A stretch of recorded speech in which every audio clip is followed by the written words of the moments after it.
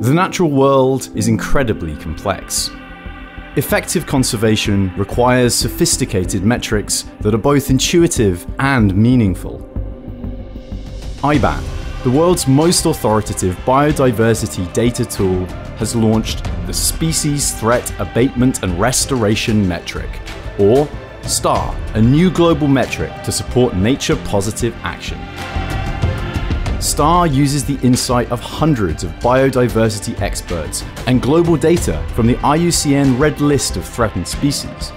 Designed to be simple, standardized, and scalable, STAR quantifies the contribution of operating at specific locations to reduce the threat of global species extinction, based on the number of species, their extinction risk, and their population.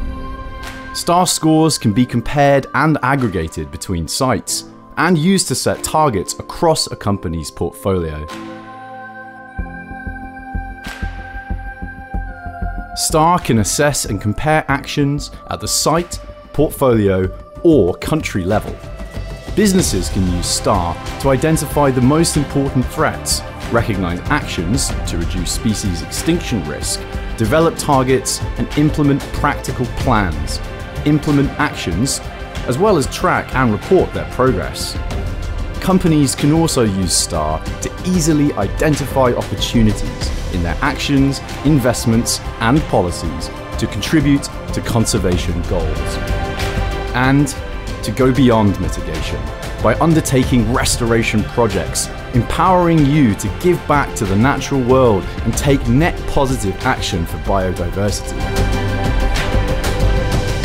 STAR is constructed on a foundation of science to help you make the right choices in the right places and measure your impact with confidence and precision.